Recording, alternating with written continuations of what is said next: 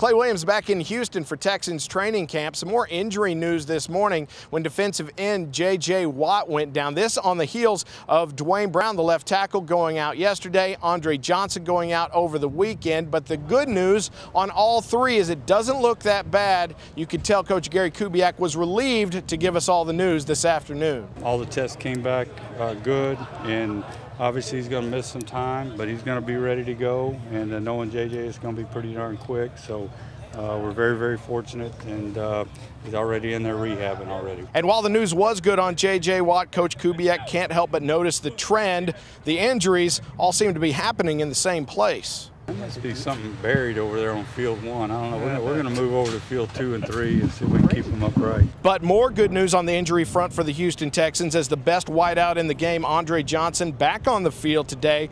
He has his groin all saran wrapped up catching passes. He wants to be out there, but understands why he can't be at this time. You know, just taking it day by day. Um, there's no big rush.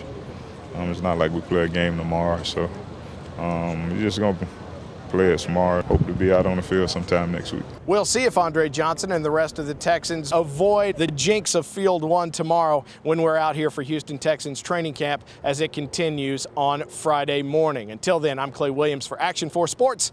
Let's send it back to you.